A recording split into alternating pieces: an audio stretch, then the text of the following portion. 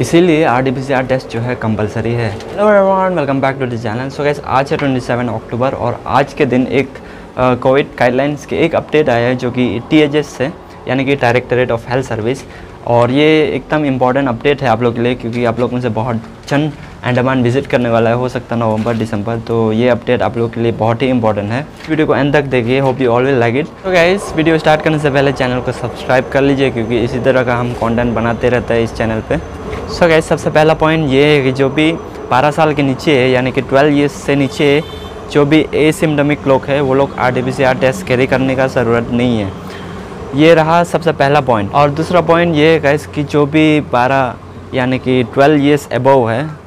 जैसे कि हो सकता है आप लोग में से आ, कोई वैक्सीन नहीं लिया है अभी तक या पार्शियली से वैक्सीन लिया है तो उस लोग के लिए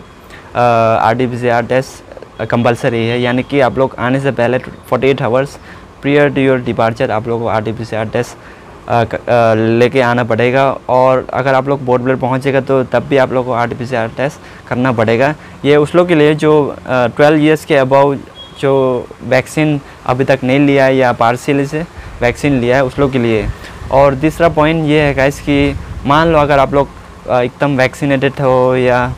आप लोग का डबल डोज हो गया तो अगर आप लोग हेवलॉक जाएगा या नील जाएगा तो आप लोगों को कोई आर टी टेस्ट करने का कोई ज़रूरत नहीं रहेगा। और उसी तरह,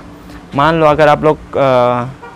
आप लोग आर टी टेस्ट लेके आया अंडमान आने से पहले, और पोर्ट पोर्ट ब्लेयर का एयरपोर्ट में भी करवा दिया और आप लोगों का नेगेटिव आया तो अगर आप लोग हेवलॉक जाएगा या नील जाएगा, उस टाइम आप लोगों को आर टेस्ट करने का ज़रूरत नहीं रहेगा।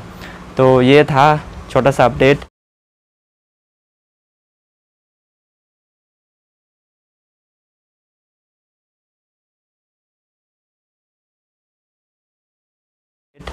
एंड हो सकता है अगर आप लोगों को कुछ समझ नहीं आया तो आप लोग कमेंट डाउन कर सकते हैं। Definitely I will surely help you out so इसी तरह का वीडियो देखने के लिए चैनल को ज़रूर सब्सक्राइब करिए। Don't forget to like the video also see you in the next video